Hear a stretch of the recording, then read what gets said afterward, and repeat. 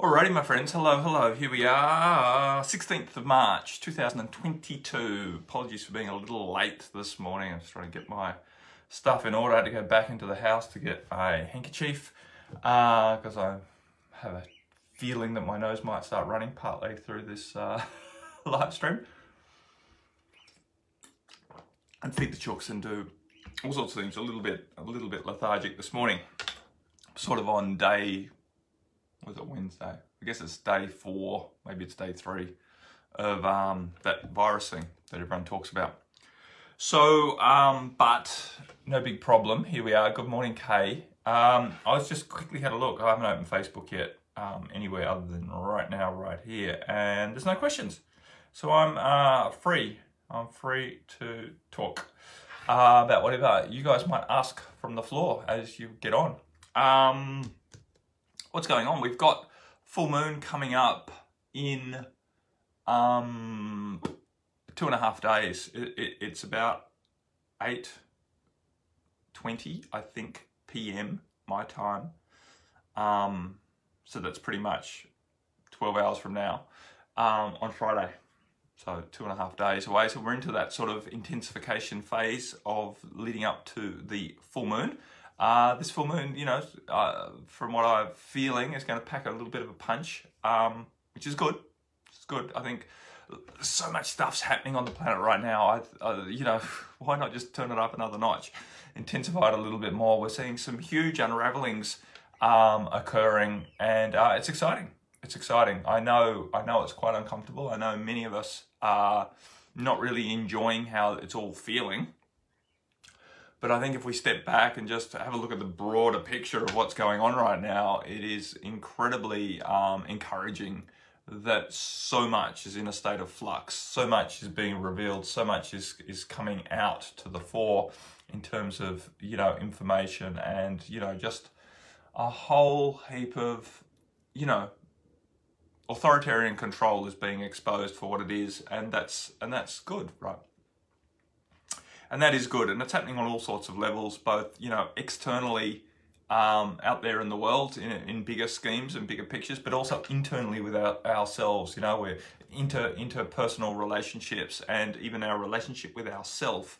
Um, I think we're many of us are getting the opportunity to look at how this, you know, the rules and the shoulds and the authoritarian control and the manipulation that goes on. We manipulate ourselves quite a lot. You know, we manipulate ourselves with this mind out of doing, you know, our heart. Hey, Sister Susie.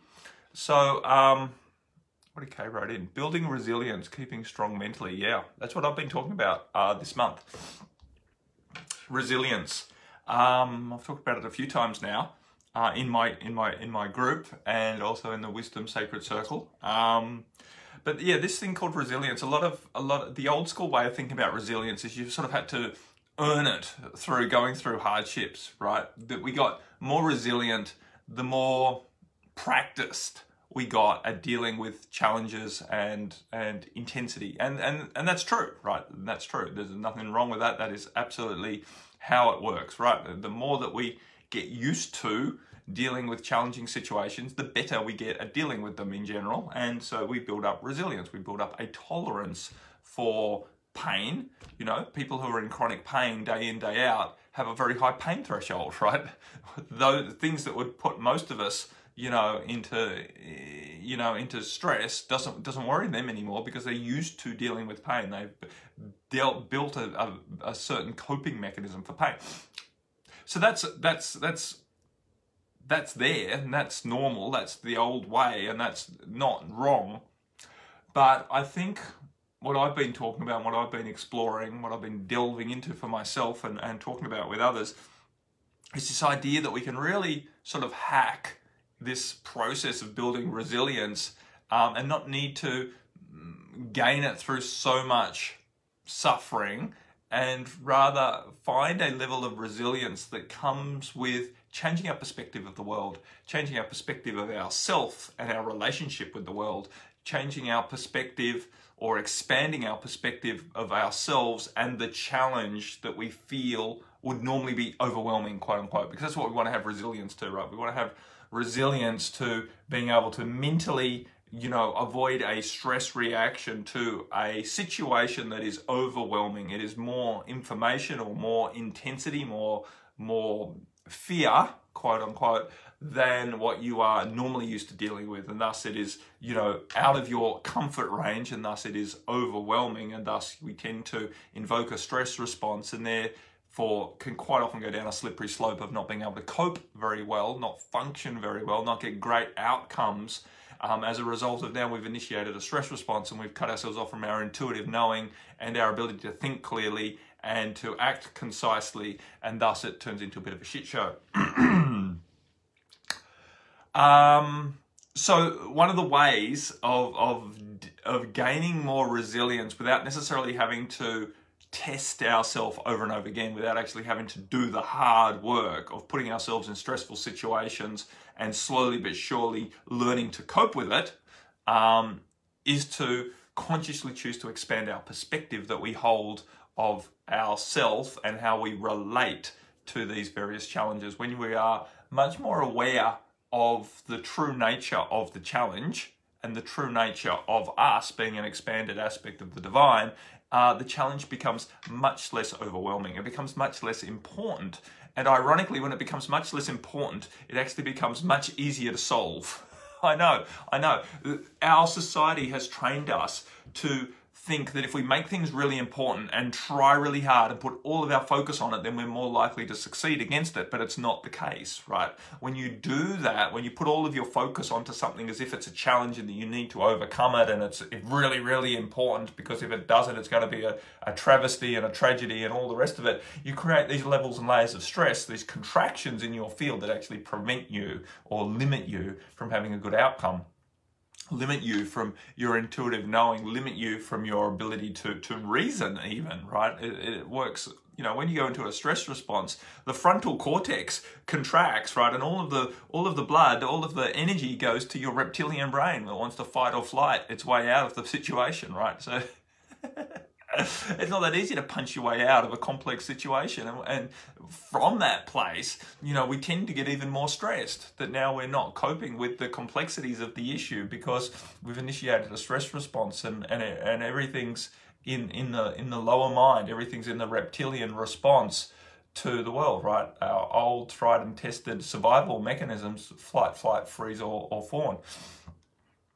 So we want to avoid that. And, and one of the ways of avoiding that is, well, two of the ways, there's two ways to avoid it. One is to train yourself over and over again, putting yourself in stressful situations, slowly but surely lifting your threshold to what you uh, consider dangerous. And the other is to radically shift your point of view of who you be.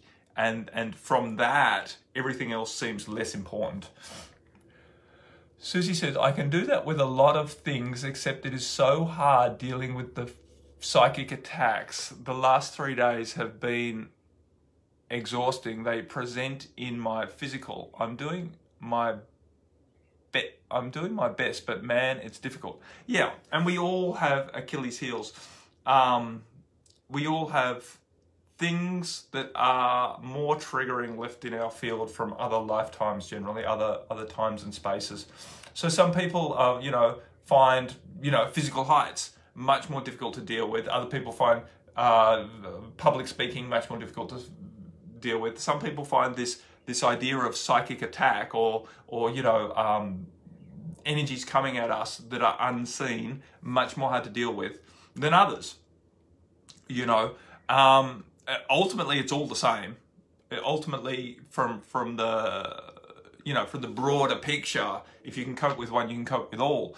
But we have to also be compassionate that we have various influences left in our field from past lifetimes generally where certain things get escalated in their importance level and thus create stress much more quickly, right? Some things we are more sensitive to than others, and each, is, each of us are different in that way with, uh, you know, a, a, rich and complex um, tapestry right? Entanglement is the word i was going to use but i decided to change it to tapestry of of vibrations. That's what makes excuse me. No it's a bit more there. Okay. So um so the point is is to recognize that we're all individual. There's no shoulds. And to be compassionate with ourselves. When we make it less wrong that we are struggling with something and don't put so much emphasis on the importance of what we're struggling or in the what's the right word? Veracity of what we're struggling with you know? We, we tend to think that if something's particularly hard for us then it must be uh, stronger than us. It's not. It's just that we have a we have a, a certain chink in our armor if if you like right? We have a certain um, sensitivity to something, we can overcome it, and you will overcome it. And it's just a matter of, of, of you know, generally relaxing into awareness and allowing yourself to re, uh, not prioritize, but re-perspectivize. Is perspectivize a word? It is now. Re-perspectivize your uh, relationship with this thing called psychic attack so that you can take the story out of it. When you can release the narrative around who is delivering the psychic attack and how bad it is and all of the history that you cling to, right? When you can find release from that, you know, employ the vibration of forgiveness, employ employ the vibration of unconditional love to basically lift you out of that story, you tend to find that the situation becomes much easier to deal with on its on its fundamentals rather than on the relationship that you have with the situation. Right? We all do this with all sorts of different things. We create our own relationship with a situation that is not necessarily the way it has to be. I was almost going to say it's not necessarily the truth, but what is the truth, right? It's not the way that it has to be. It doesn't have to be that psychic attack is really hard for you to deal with. It's just that it, that's your history, right? So now you have this body of evidence that keeps you in this narrative that psychic attack is habitually hard for you to deal with, and so it is, right? And every time you get psychically attacked, you feel down about yourself and feel frustrated and angry and it's not fair and etc etc right all of the different human emotions that come with that. Um, and you tend to fight against it right? Tend to uh, focus on the problem, right? Focus on psychic attack, focus on the person who is doing the psychic attack as if they are the one that is preventing you from being happy, right? They're the one that's preventing you from relaxing. They're the one that's preventing you from being successful. And this goes on for everything, right, Susie? This is not just about you and psychic attack. This is for everyone about all different types of challenges that are in our lives. We tend to take our primary challenge and put it on a fucking very high pedestal, right? As something that we are going to conquer. Um, or that we feel the victim to, or we oscillate between the two, right? Wanting to conquer it, feeling like the victim, etc., etc. I understand. I do get this appearing for me to heal, but Jesus, yeah, it's it's it's the fact that it's getting really intense right now is a good sign. This is this is it, right? Everything I believe everyone is going through an intensification of their core issues right now. That's that's the nature of this vibration. It's a good thing. This is this is the healing process in full swing. Um, we tend to always get an intensification of what we are releasing, and that's you know that's what I keep reminding myself um, when when I'm you know quote unquote suffering or or uh, maybe if I'm not suffering, but I'm just aware of the discomfort that I'm currently feeling it's reminding myself what I'm feeling is what I'm releasing, right? What I'm thinking is what I'm releasing. What I'm experiencing right now is what I'm releasing. This is the process of my evolution. This is the process of my ascension happening right now. So the fact that you can't ignore the things that are up for you to relax out of, right? Just to relax out of. You don't need to fight your way through it. You don't need to solve these issues. This is the point, right? Um, you just need to relax through what's happening and create distance from it. You just expand out of this idea of psychic attack. Because the truth is, the thing that's you feel that is psychically attacking you is not more powerful than you. You've just allowed yourself to fall into this narrative where it's having such a strong influence and therefore it can because you keep because you've experienced the strong influence you believe that it can always be a strong influence and therefore it is always a strong influence. And and you know it's a self-perpetuating belief system. Um, and again you're not alone in this susie. Everyone does this right? We all create these belief systems that are self-perpetuating uh, and we think it's the truth. We think it's our truth. Yeah, yeah, yeah. But, you know, I know it's that way because, and we have all of this evidence, all of this history to prove that it's the way that it is, right? But the problem is, or the, or the point is, that all of that history was created from a belief.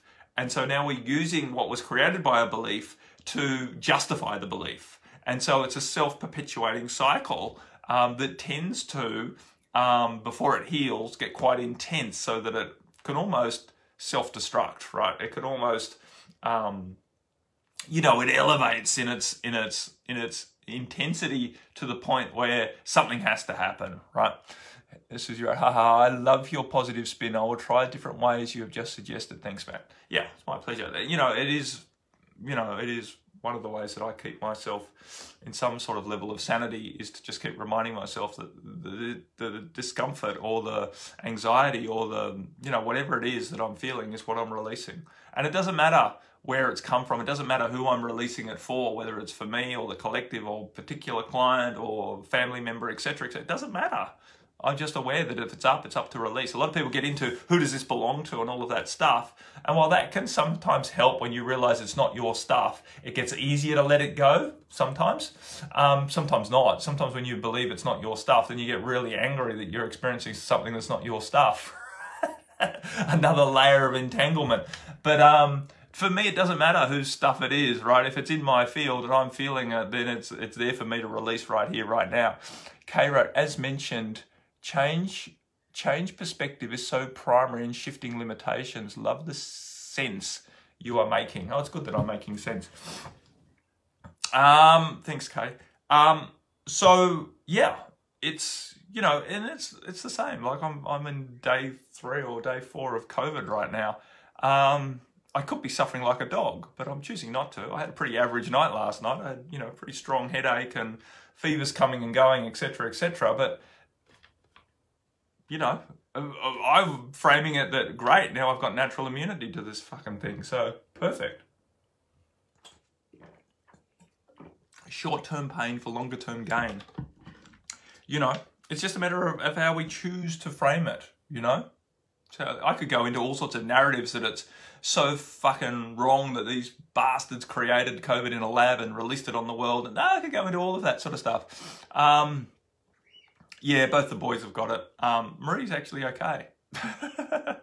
Marie's actually okay, yeah, but the kids bought it home. Um, so they're both going through it too. And so, of course, it spreads as it does within a household. So we're sort of uh, in quarantine at home doing our thing um, and just in, enjoying that time. Um, but yeah, no one's particularly sick. No one is particularly sick, just moving through the, the phases. It's all a little bit different for each person, but um, in general, yeah, in general, it's fine, Susie, thanks. Um, so the point is, you know, you, you, you, I could choose a number of different narratives or, or frameworks or perspectives on, on the current situation that I'm facing, you know, but at the end of the day, what is the most beneficial? What's the most beneficial way of of framing of of perspectivizing i'm going to use that word again perspectivizing this situation right? Because at the end of the day that's all that matters right? You know we are in charge of how happy or, or not that we are. We're in charge of the perspective that we bring to every situation. We're in charge of how how bad or how good any situation is right? This thing called bad and good is not absolute terms. These are very very relative very very personal and subjective terms. And you're in charge of that. You, yes, you, right? You take responsibility for your perspective of the world. You take responsibility, or you have to take responsibility because you're the one responsible for how you choose. Now, the interesting thing is, right, is, hey, Sister Heather, is how much influence there is over the perspectives that you hold. This is very interesting in, on the planet right now. How much energy, how much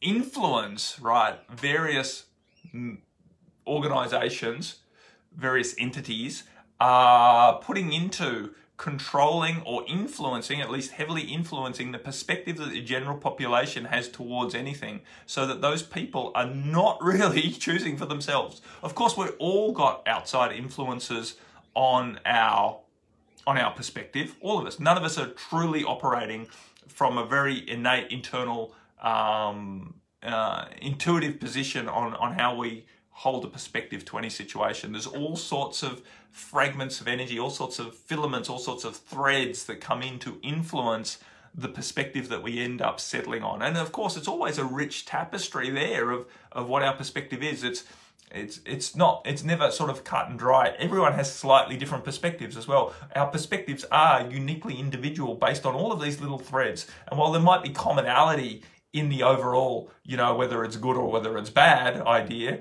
but within good and bad, within good and bad, there's all sorts of nuances. And we have to understand this. A lot of people and this has been part of this agenda right this this control agenda is to polarize everything into yes or no good and bad black and white right? To to to, to wipe away the gray to to to um not really recognize the nuances in everyone's perspective and they try to lump people together in one camp or the other and unfortunately a huge number of the population are buying into this and this creates a massive division because the truth is, when we notice that we all have slightly different perspectives and it's not one camp or the other, we lose we lose this this polarized division. And so it's not one against the other now. Everyone's slightly different. So it's it, it, it it's me it's me, you know, on my own, not me and all my comrades fighting the other bastards who have a different perspective, right? Because we recognize that all of our perspectives are at least slightly different. And when we recognize the slight differences, we can let go of this very naive, immature, baseline tribal mentality of us versus them, right? And but but you know, open your eyes to what's going on or how the media is presenting various various fucking situations at the moment. It is it is so this or that, right? And either you're in this camp or you're in that camp. If you don't proclaim that you're in that camp, then by default you're in that camp, right? And you're a bad person, right? If you're if you're not standing for the Ukraine right now, then you're a Russian sympathizer. You know, we saw this exact same thing with, with Black Lives Matters. We, we we saw this same exact thing with vaccines, you know, the anti-anti-vaxxers, you know, against the anti-vaxxers. It's ridiculous, right? It's absolutely ridiculous there's a huge amount of nuances in all of these situations, and yet the media try to and effectively uh, achieve splitting the population up into this camp or that camp and pitting one against the other. And as long as we're pitted against each other, the people who are controlling us have a free run. They have a free run, right? Because we're too busy fighting each other and thinking that the other camp is what's wrong with the world, when what's wrong with the world is the people who are controlling the world. oh my god, we can laugh about it, but uh, but you know, I think we're in a process of waking up, right? I think we're in a process of waking up, but I also believe it's going to get quite intense as we wake up from this, as people open their eyes, right? Um, so fun. It's it, it, it's going to be very interesting on this planet for a while. But what I'm encouraging you to do is is not you know not to believe what I'm telling you, not to think that you need to align with my beliefs around this, but just to freaking open your eyes and and lift your awareness to how you're being influenced by the world, what is influencing you, and what they're trying to achieve by influencing you, um, and and make choice from that point, right? Yeah, divide and conquer through distraction is exactly what they're doing, Heather. Um, you know, just this, just when they started losing the the COVID narrative war, right? With with all of that, in comes the Russia Ukraine narrative, right? Like right on its tail. Um,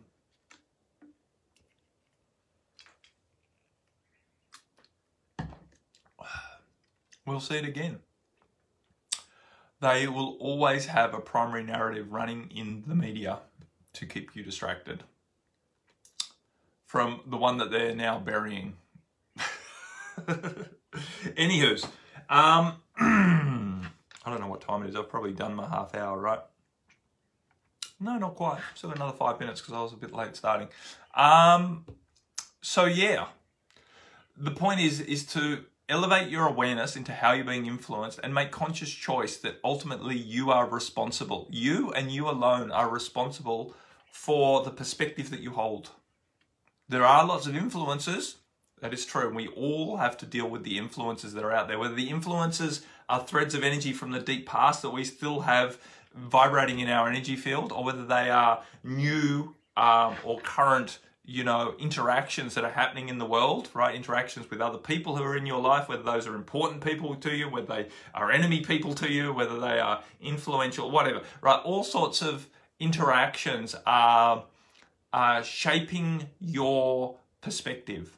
But ultimately, ultimately, you can expand out of all of that, right? You can choose to meditate or at least find space to dig a little bit deeper into the truth of the situation for you and make conscious choice from that place. Yeah, exactly, Heather. It's like the last two years didn't happen, right? It's just a, a, a just a bad memory now. just a bad memory. This whole, you know, COVID debacle. But you know, they'll distract people and then they'll just sort of keep that. You know, the next thing. Don't worry, it's going to be interesting. Um, so yeah, that's the point, right? And the way to hack resilience, the way to lift your resilience to dealing with the world and all of these situations that are quite annoying. Let's let's let's face it. It's quite annoying that there's so much effort, such a huge amount of of energy being applied to trying to control us, right? Um, that, that that's a bit annoying, right? Because it feels like we're being persecuted, right, as humanity, by by various entities. Um, it, it's to let go of that contraction around that realization that you know these these um, vibrations or these entities are putting so much effort into trying to keep us you know in a fear-based level of control and to really consciously choose to expand out beyond that influence to expand out beyond their control none of us do it perfectly none of us need to do it perfectly it's just a matter of doing the best that we can in the situation that we find ourselves we all get to to choose whether we're happy or not. We all get to choose whether we are, um, how we, what perspective we're holding to the current situation that's playing out in our life. Um, and don't worry too much about what's not immediately in front of you. So many people are putting so much of their attention on something that's happening on the other side of the world. And now I know, you know, everyone's worried that, or oh, maybe a nuclear reactor is going to get hit and da da da da da, and that would be quite unquote bad. Yeah, it would be bad. Um, but you worrying about it's not going to change anything. That's the point, right? It's the point. Uh, and what you focus on, you feed, and what you feed grows stronger. Basically, what you worry about, you create. Uh, so many people don't get that, and, and when I try to mention it to them, they, they look at me as if I've got two heads. It's like, you know, you worrying about it, it's actually creating these situations. Um, so stop it. Stop it. Stop worrying about what you don't need to worry about. Look after yourself in this moment right now. Be the best version of yourself in the situation that you are in rather than applying all of this mentality, all of this, all and all of the emotionality that goes with it to a situation that you don't know the truth about. And let's face it, none of us know the truth about what's happening over there. You know, the media has proven itself time and time again to be corrupt, right, and manipulative. Like just with this whole thing, they've shown so many different images that weren't actually pertaining to the current situation um, to, you know, tell their story. Don't let the truth stand in the way of a good story. Um, that it's obvious that nothing that, you know, comes out of their mouth is truth anymore.